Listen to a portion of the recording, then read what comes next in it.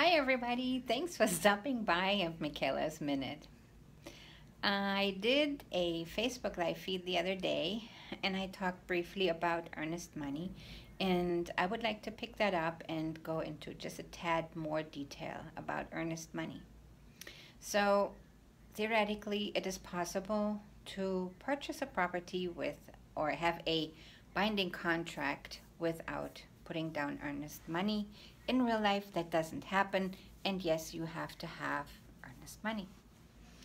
The amount of this deposit depends on the purchase price of the property you want to buy.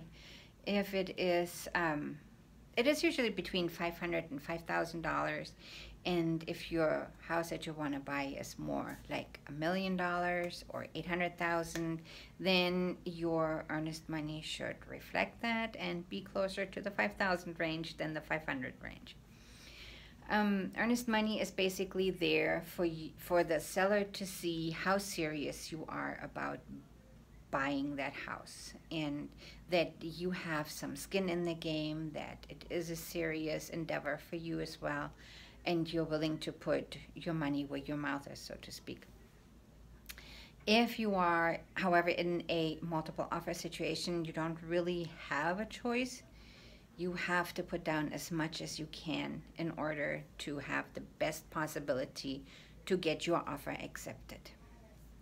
So once your offer is accepted with your earnest money, then your agent will either give you a special link where you can deposit the money into the listing brokerage account right away and it goes from your account into their account without um, any delay and it is done right away instantaneously.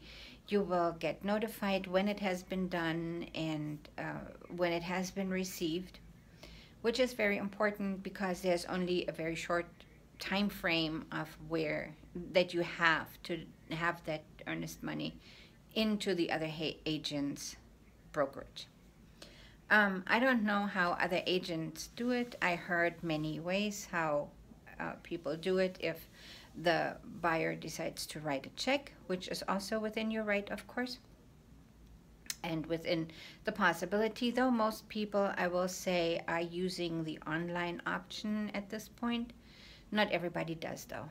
So if you wish to write a check or have to write a check, then um, I personally will never, ever, ever drop that just in the mail and hope that it makes it and hope it doesn't get lost. I don't even know if it would be possible to be in the other brokerage's hands at that in that time frame that is allotted. So, plus it's a lot of money, so I'm not just to drop that in a mailbox. I'm driving that over to the listing brokerage, have it into their hands, get a receipt so that everybody is happy, everybody knows it has been delivered, it has been done. That part of the contract has been properly executed. So, that was that for earnest money. If you have any questions, please let me know. I'd be happy to help. If you um, would like to talk about anything um, that I can put uh, in a little video clip, let me know that too. That would be great. And my phone number is 612-345-9070.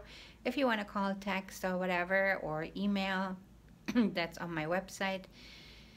Uh, smoke signals take a little bit longer. I'm not so good at that, but other than that, give me a buzz and we take it from there. You have a good one.